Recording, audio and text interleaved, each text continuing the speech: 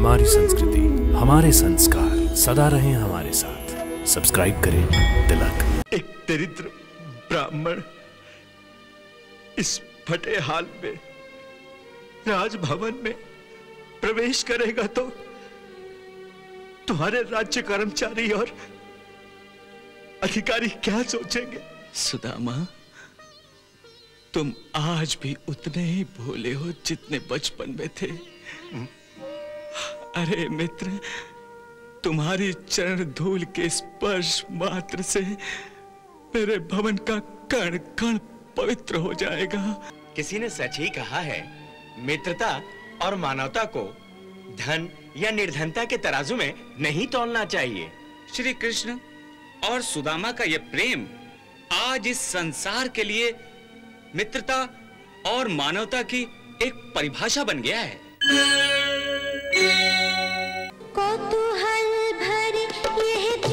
दृश्य के रहे। सुध बुध खोके कृष्ण दौड़े कहाँ जाते हैं? उड़ के चले हैं, पीछे मुड़ के न देखे। लीला देखने वाले तो कुछ समझ ना पाते हैं। गिरते हैं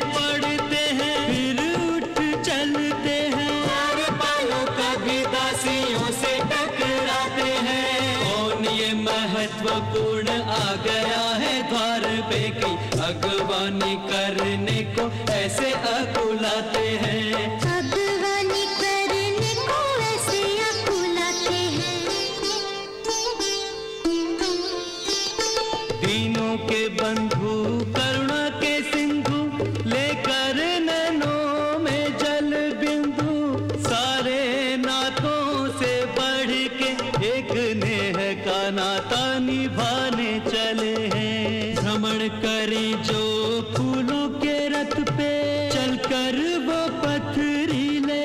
पथ पे। नंगे पाँव जो आया, उसको नंगे पाँव बुलाने चले हैं। दर्शन की अभिलाषा खो के जगत हसाई से व्याकुल होके, आस के टुकड़े सुदामा संजो के अश्रु में जीवन डुबाने चले हैं। प्रेम परीक्षा की घड़ी आई परायण कृष्ण कन्हाई रूठा मित्र मनाने चले हैं। सुदामा सुदामा किधर गया मेरा मित्र? अरे सुदामा नज़र नहीं आता। वो तो लौट गए द्वारकाधीश। कहा? इस तरफ़ गए। किधर? इस तरफ़। सुदामा! लो वो फिर आ गया।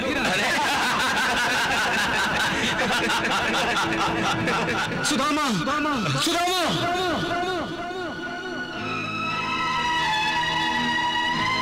सुदामा।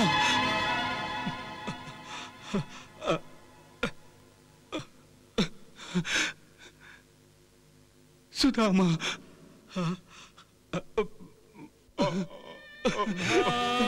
भरी इस भेंट को देख रहा संसार देखने वाले कृष्ण की जय जय सुदामा सुदामा, तुम मुझसे मिले बिना ही लौट जा रहे थे। तुमने आने में बहुत देर जो लगा दी थी। आने में तो बहुत देर तुमने लगा दी थी, सुदामा। कितने वर्षों बाद याद किया है मुझे? मैं तो तुम्हें कभी भूला ही नहीं था। तो आए क्यों नहीं इतने वर्षों? वो असल में तुमने सोचा होगा कि मैं द्वारिकाधीश बन गया हूँ तो तुम्हें भूल जाऊँगा। तुम्हें पहचानूँगा तक नहीं। है ना? हाँ, हाँ, हाँ, हाँ, हाँ मैंने यही सोचा था। और इसीलिए जब तुम्हारा बुलावा आने में देर हो गई तो मैं लौट चला था। वाह मेरी दोस्ती का अच्छा मोल लगाया है तुमने। सुदामा तुम्हें मेरी मित्रता पर भरोसा तक नहीं रहा हाँ?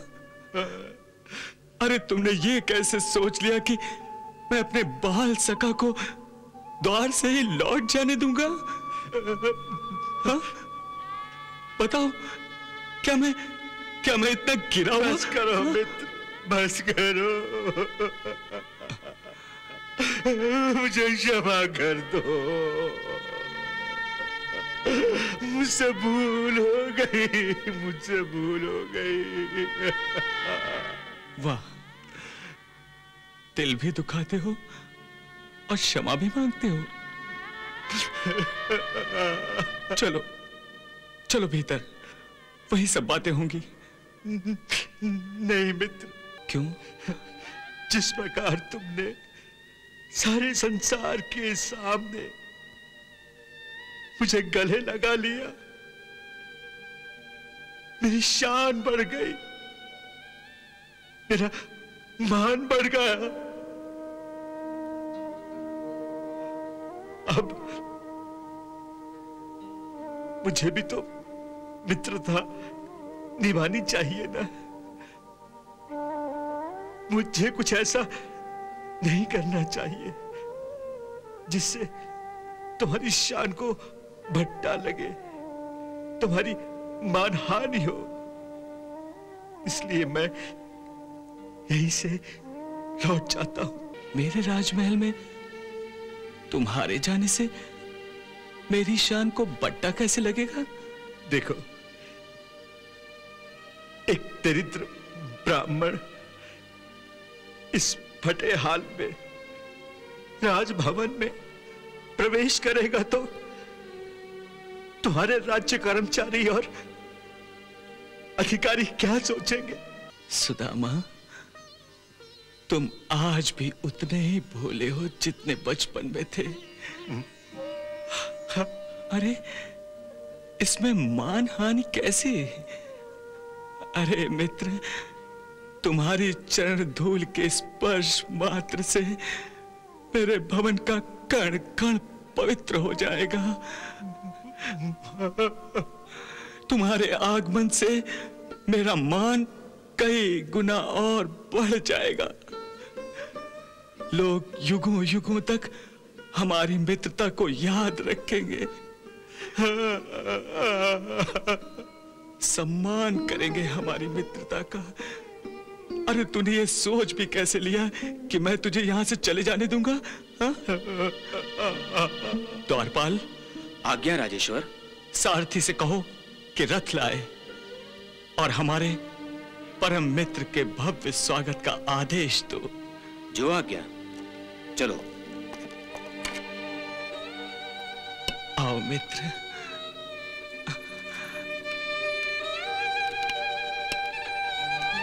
वाह भाई वाह। मित्रता हो तो ऐसी हो।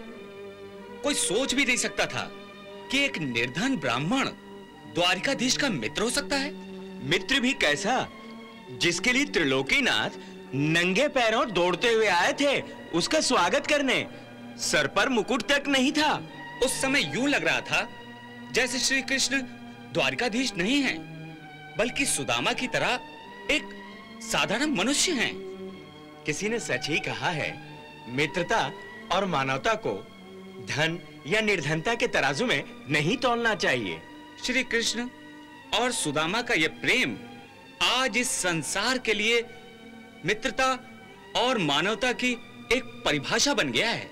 सत्य तो यह है कि आज लोग मित्रता के नाम पर अपने अपने स्वार्थों की सिद्धि करते रहते हैं। आओ, आज हम शपथ लें कि जीवन भर हम श्री कृष्ण और सुदामा की तरह निश्चल और निस्वार्थ प्रेम भाव से मित्रता के पवित्र बंधन को निभाएँगे।